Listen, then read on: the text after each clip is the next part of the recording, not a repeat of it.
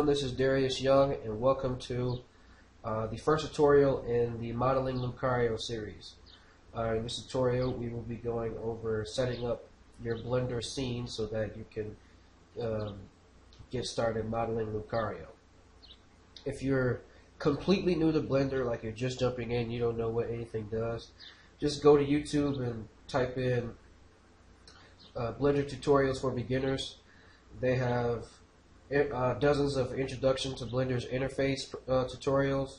Uh, so just go there, familiarize yourself with the basic keyboard shortcuts, and come back and with that basic knowledge, you should be able to follow along with the tutorial pretty well because the tutorial is geared toward beginners, but um, it'll be a bit difficult for you to catch along if you don't already know some of the basic keyboard shortcuts. So, that being said, let's get started. So, when you open up Blender, you get this blank scene here. And what we're going to do first is add a background image in there. Uh, now, uh, the image I will be using, the Lucario reference sheet here.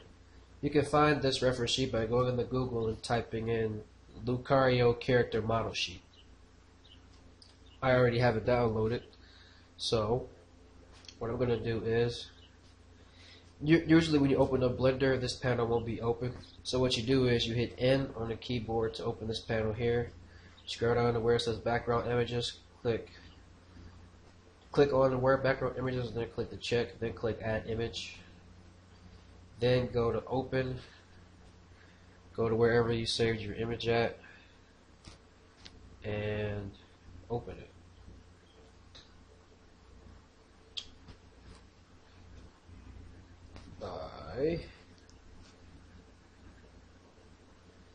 Double clicking. Okay, there. Now you won't see the image right now, but if I have 5 on the keyboard to go to orthographic view, and then I hit 1 on the number pad to go into the front view, uh, you see that I see my image here. Except there's a problem. I can see it. And when I hit 7 to go to top view, when I hit 3 to go into right view, I can still see it. We only want it we only want to be able to see this part in the front view. So what we're going to do is change from all views to front. There we go. Now, so the first thing that we're going to do with this image is move it on the x-axis.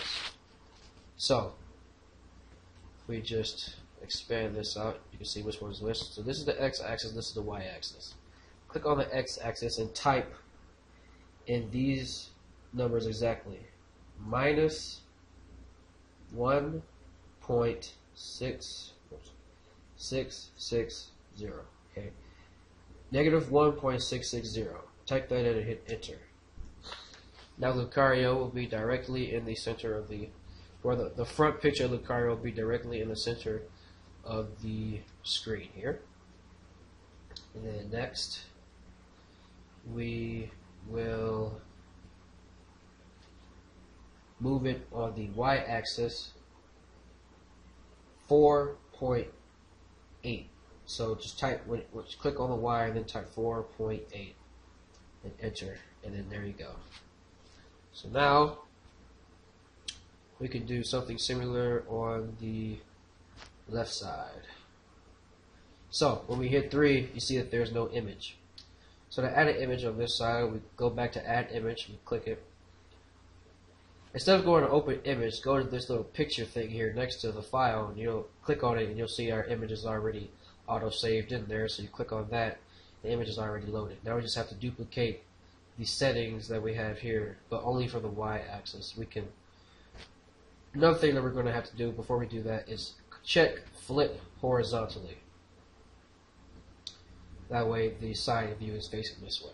So, move this up on the y-axis, 4.8, and move on the x-axis 1.6. So, 1.6. Doesn't seem right. Negative 1.6, my bad. So if you already typed in 1.6, just go back and put a minus in front of that. if it'll let me. This is doing a negative 1.6. There we go. And now Lucario is in the center of the blue line on the left side as well.